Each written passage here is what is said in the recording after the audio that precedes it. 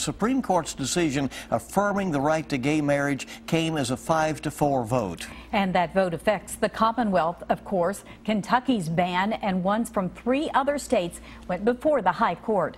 Our Washington Bureau Jacqueline, Chief Jacqueline Policastro continues our team coverage from the Supreme Court.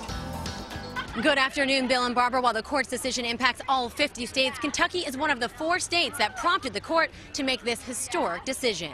Here's a look at how Kentucky ended up here. In 1998, state law was passed to exclude same-sex couples from the definition of marriage. In 2004, Kentucky passed a constitutional amendment banning same-sex marriages. In 2014, the legal battle intensified. A federal judge ruled Kentucky must recognize same-sex marriages performed elsewhere, and the state's ban violates the U.S. Constitution. Greg Bourke and Michael DeLeon, who met at UK, were among the couples who sued, wanting their marriage recognized in Kentucky. Two months ago, the High Court heard arguments on cases from Kentucky, Ohio, Tennessee, and Michigan. Now the court has ruled gay and lesbian couples in all 50 states can already marry. Plus, in Kentucky and the 13 other states with bans, the states must stop enforcing them. Reporting at the Supreme Court, Jacqueline Policastro, WKYT.